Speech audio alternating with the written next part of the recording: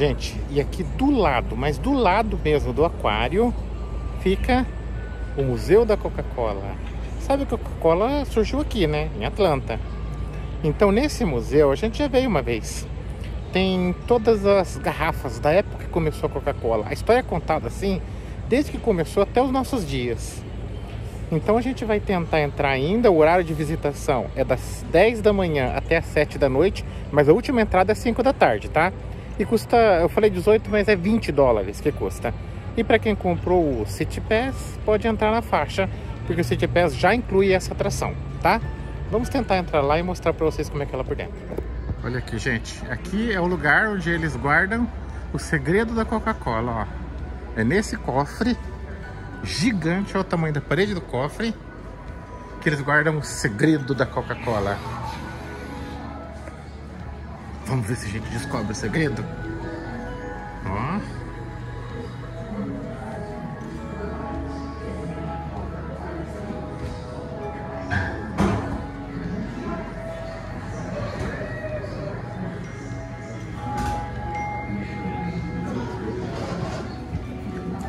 fórmula mágica.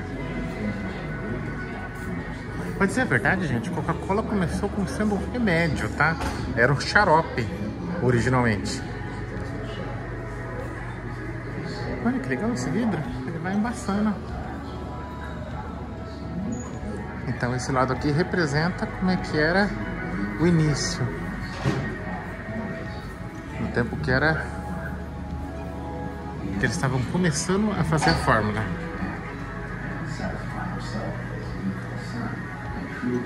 Embalagem.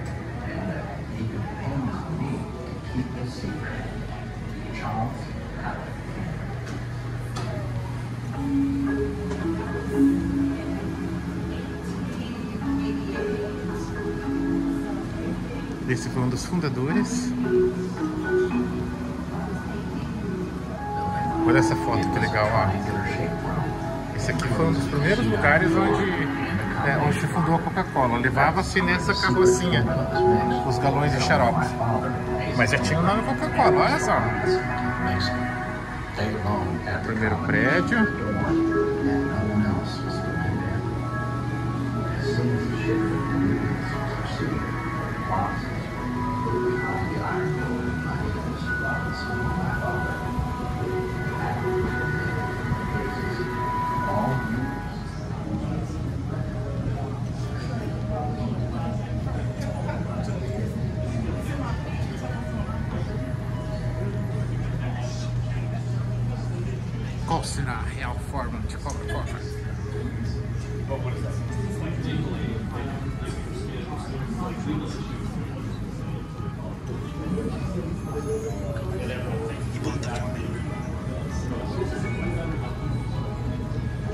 Achamos o lugar onde está a fórmula secreta da Coca-Cola.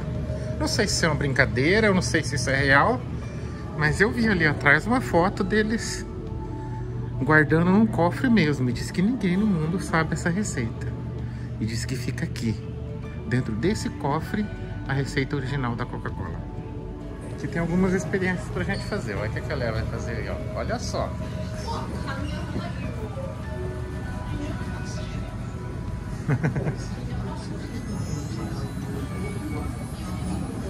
o rosto vai se desintegrando na, nas borbulhas de uma Coca-Cola. É de corpo inteiro.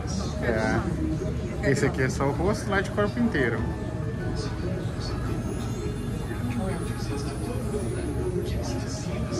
Vai lá, vai lá.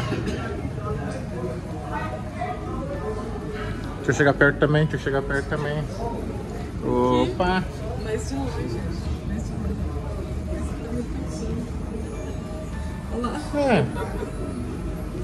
Ah.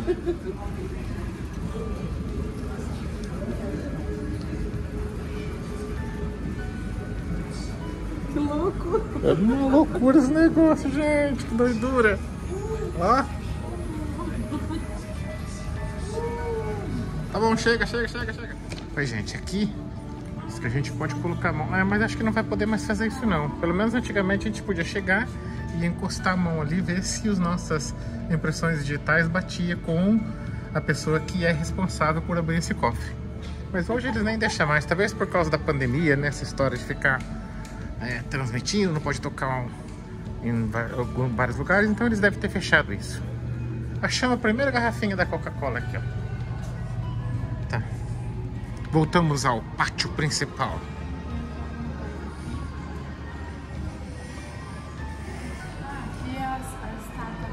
É. Aqui também é parte da história. Gente, essas plaquinhas da Coca-Cola.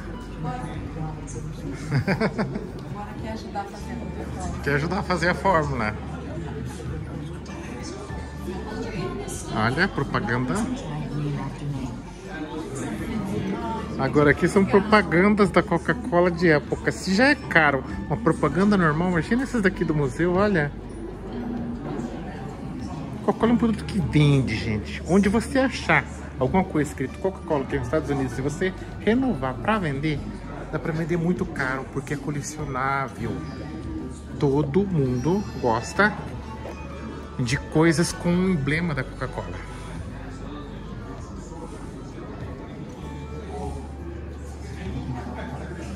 Olha que top essas propagandas antigas em perfeito estado de conservação. Respirar perto delas, né? Que senão. Não, é bem guardado, né? Tem jeito. Ali, ó.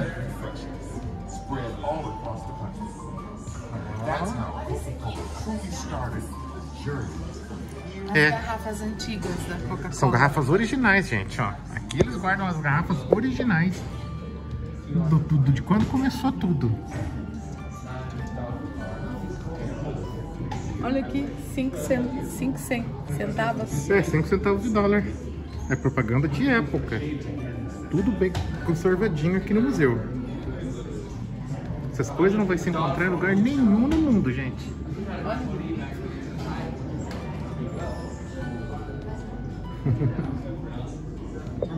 Se um dia você estiver comprando na feira de garagem e tiver alguma coisa escrito Coca-Cola, gente, pode comprar que é muito bem vendável aqui. Bem que vai ser difícil encontrar, né? Aqui. Olha o carro. Também de época. E foi recuperado.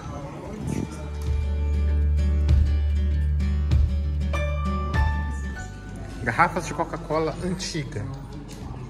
De mais de 100 anos atrás. Olha o monte que eles têm aqui, ó. Com rótulo de época, olha.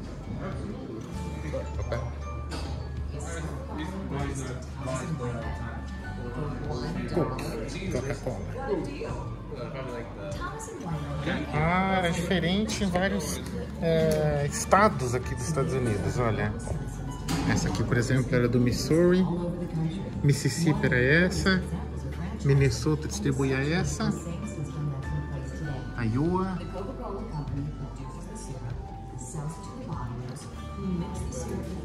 Ó. Essa aqui era da, distribuía na Carolina do Sul.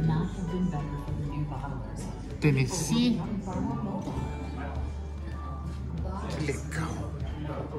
Então era uma garrafa para cada lugar dos Estados Unidos. Muito top. Essa aqui foram as garrafas comemorativas da Coca-Cola ao redor do mundo. Tem gente que faz coleção disso aqui.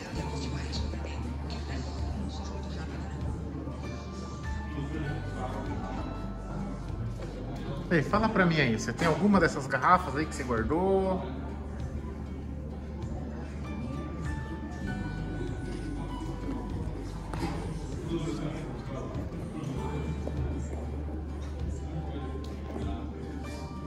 Essas daqui é quase impossível ter, né? Imagina.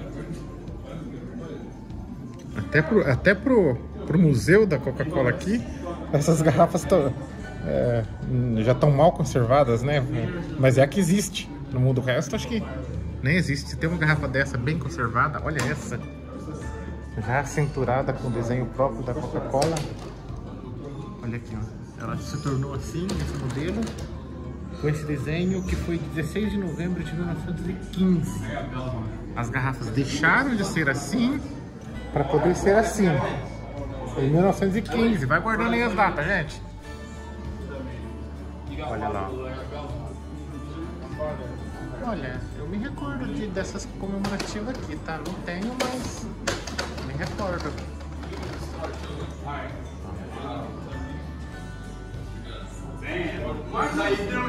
Why come? I can't president. Aqui é um tipo do joguinho, cara.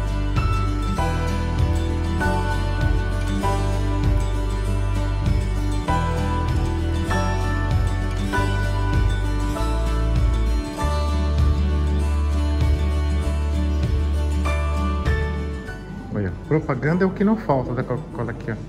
Todas em perfeitas condições. Ao redor das décadas, por que não dizer dos séculos, a Coca-Cola sempre dominou os grandes mídias da propaganda. Olha aquelas da aviação, que coisa mais, mais linda aquela propaganda. De novo, mais produtos Coca-Cola, mais caixinha. Olha que graça essas caixinhas de época, gente. Pena que não fala as datas, mas é antiga. Mas essas máquinas de Coca-Cola é show. Em perfeitas condições funcionando, é muito, mas muito colecionável e caro. Também uma mais bonita que a outra, olha. Essa aqui não é nem antiga assim, mas é.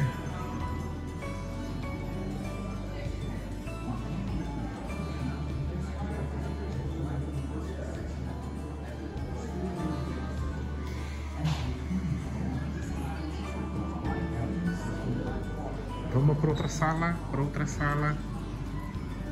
Aquela gente já foi, essa daqui já foi todas. Gente, isso aqui eu não sei explicar o que é, tá? Mas provavelmente são as máquinas de fazer Coca-Cola. Tratamento de água. Aqui também. Não sei o que que é, mistura das, das substâncias. Ali do outro lado também. É provável que tenham desa- desativado uma das fábricas e colocado os equipamentos da fábrica. Aqui, ó,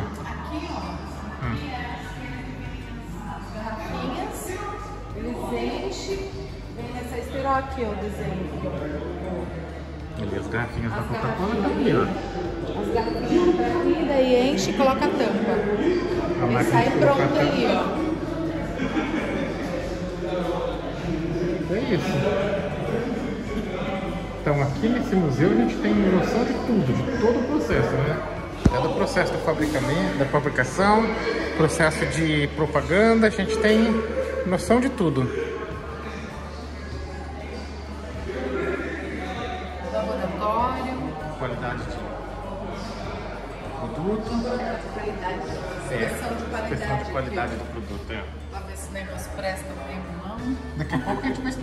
Produto presta mesmo ou não. Naqueles vídeos mostra os produtos da Coca-Cola sendo fabricados. Nas esteiras, né? Uhum. Olha a velocidade, gente, que esse negócio roda.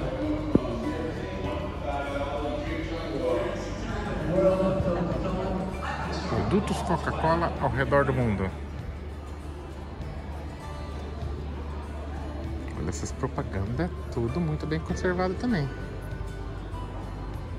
1915 essa aqui, agora sim começou a colocar data.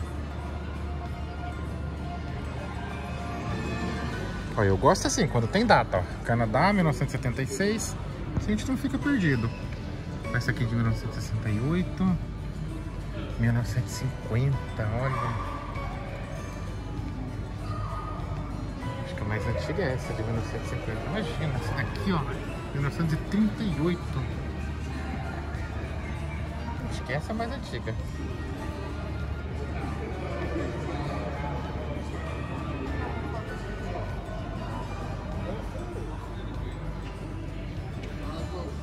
Bem,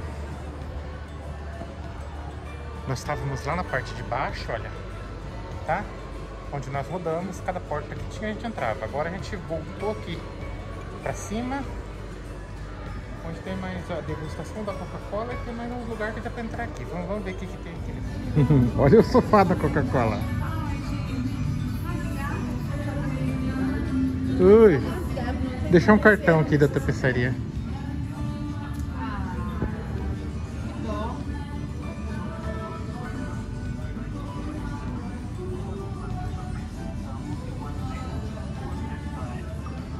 Mais produtos aqui de antigos de Coca-Cola. Vamos lá, vamos sentar nesse sofá.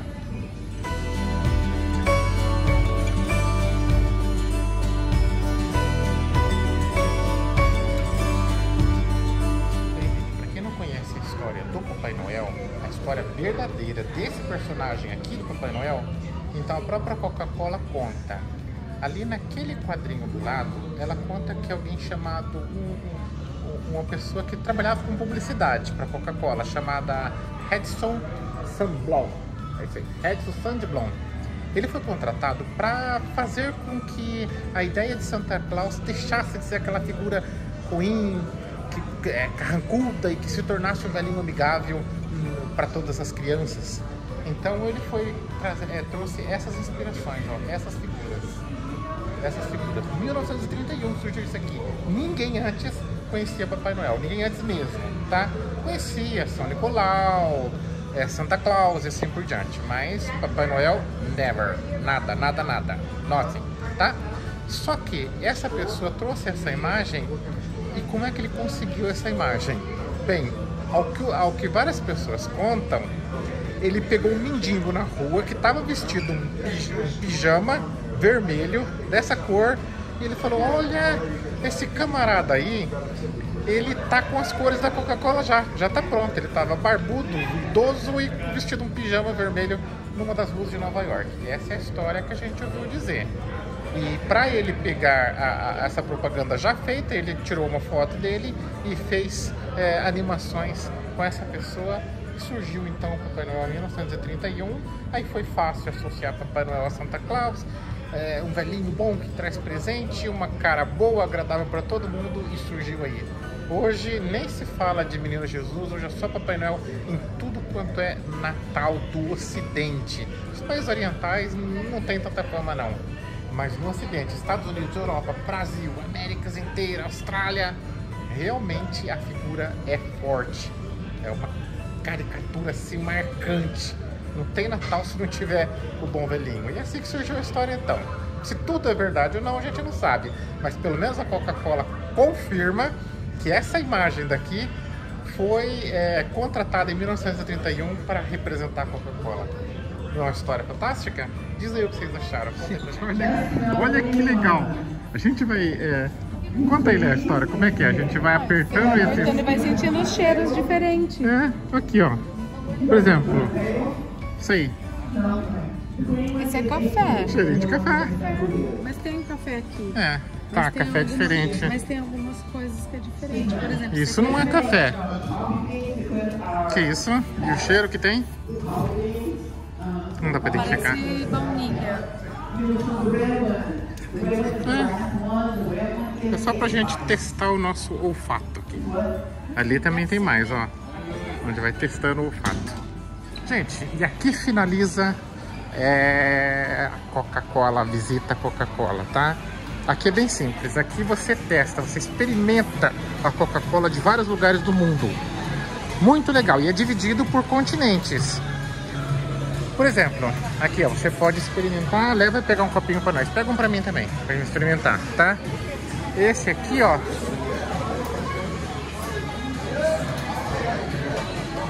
da Geórgia, América do Norte. São tudo Coca-Cola.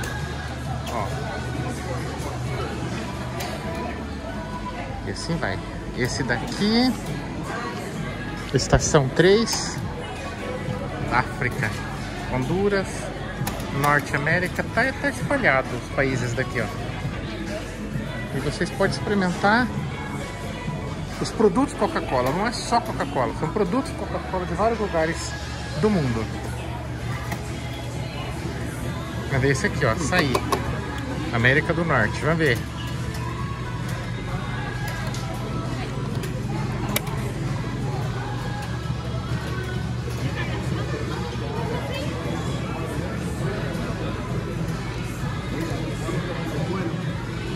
Olha, tem uns que nem esse aqui, por exemplo, olha, experimentei, não tem nada de açúcar, tá?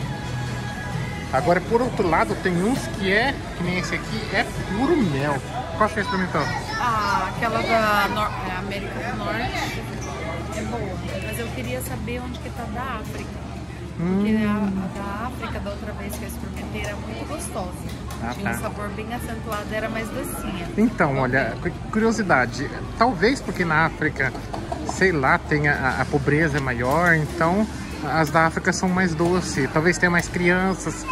Agora, em lugares como a Ásia, é, os produtos são na Europa mesmo, tem mais idosos, os produtos são menos doces. Curioso assim, entendeu? Talvez a Coca-Cola possa explicar por que assim. Vamos experimentar alguma coisa também.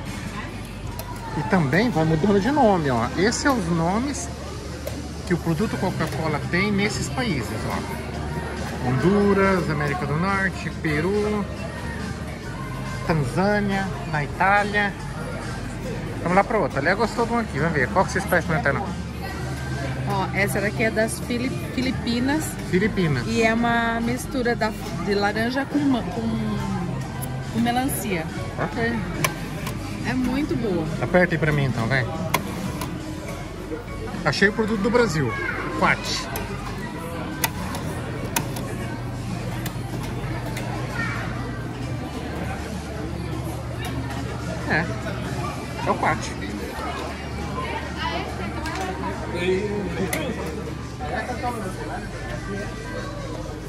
Ver, Fanta na Grécia. Veio. É. Eu gosto da Fanta, nada mais. Não, mas é com gosto de abacaxi. abacaxi, gente. Muito bom. Essa merece mais. Mas quando veio a primeira vez, eu não tô errado não.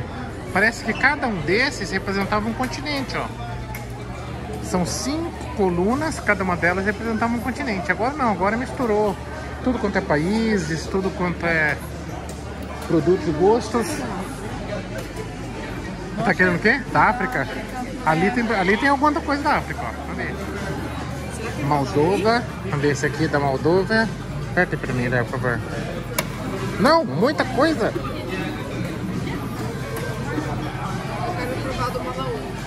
Nossa Deus, doce demais.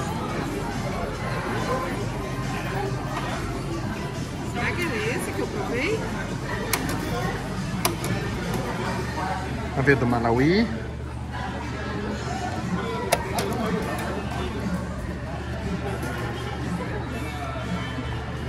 Tá, mais ou menos. Não é tão doce não.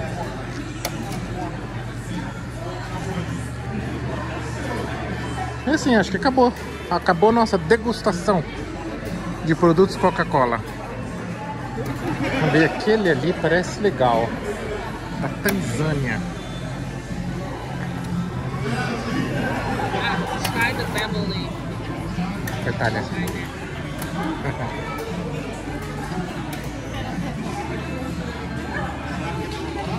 Esse da Tanzânia parece água gasificada. A moça falou pra provar esse aqui que é muito bom, vamos ver.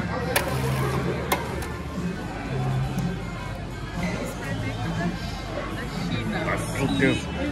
Experimenta da China. experimenta isso pra você ver. Só. É o quê? É esse aqui, ó. Beverly. Da Itália. Itália. Vai, experimenta. Meu Deus do Não, céu. vai, vai, vai. Eu quero ver. Preciso experimentar. Deus é amargo. É ruim demais.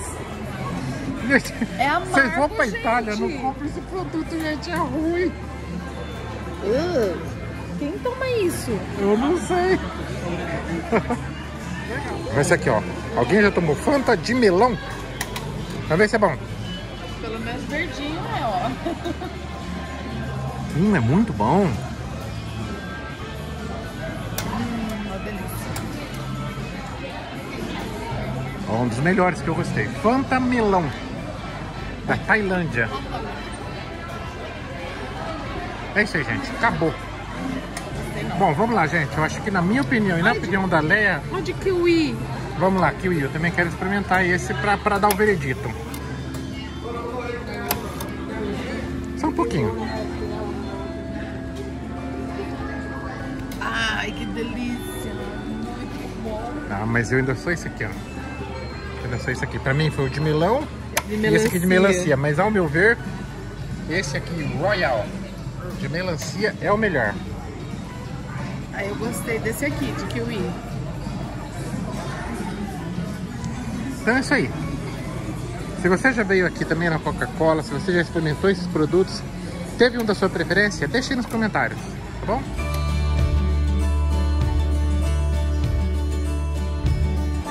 Bem, como toda atração americana, para sair você tem que passar o quê? Na loja de souvenirs, Coca-Cola Story. E olha aqui a Coca-Cola sim, tem produtos fantásticos para se comprar, para se colecionar. Opa! Não.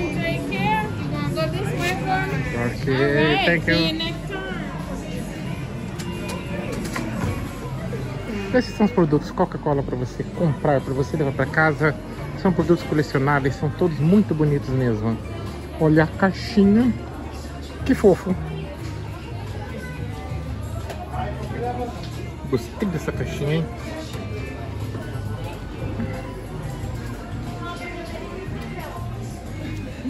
Gente, todas as coisas aqui na, no Museu da Coca-Cola é lindo, né? Na lojinha de souvenirs. Olha lá, a Leia já tá doida por uma camiseta. Isso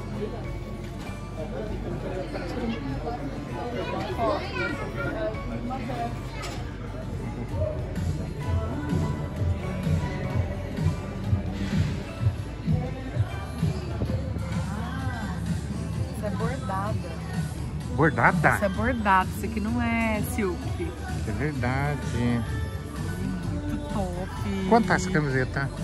Então, o preço é meio salgado, 34 dólares. Dólares, dólares. Isso dá 170, 180 reais com os impostos. Ó, essa daqui que é silk já tá 20 dólares. Olha, quase metade do preço. Mas Mas Coca-Cola são bonitos, a marca é bonita, olha. Bordada também, ó. Essa bordada tá 22. Olha, que bom. É isso aí, gente. Agora é, estamos encerrando a visita à Coca-Cola. O que nós mostramos, espero que tenha agradado a vocês. E para poder encerrar essa visita, eu gostaria de contar uma breve história que aconteceu especificamente no dia 13 de abril de 1985. Nesse ano, a Coca-Cola anunciou aqui em Atlanta para o mundo que iria mudar a fórmula da Coca-Cola. Era chamada a nova fórmula da Coca-Cola. Imagina o que aconteceu. Foi uma revolução no mundo inteiro. Pessoas protestando com cartaz, os fãs de carteirinha de Coca-Cola falaram, não, nós não queremos e não sei o que. Mas acontece que a Coca-Cola já tinha testado essa nova fórmula em testes às cegas e as pessoas tinham aceitado. Então essa nova fórmula tinha tudo para dar certo. Já estava nos mercados quando ela anunciou. Aí a Coca-Cola não sabia o que fazer, né?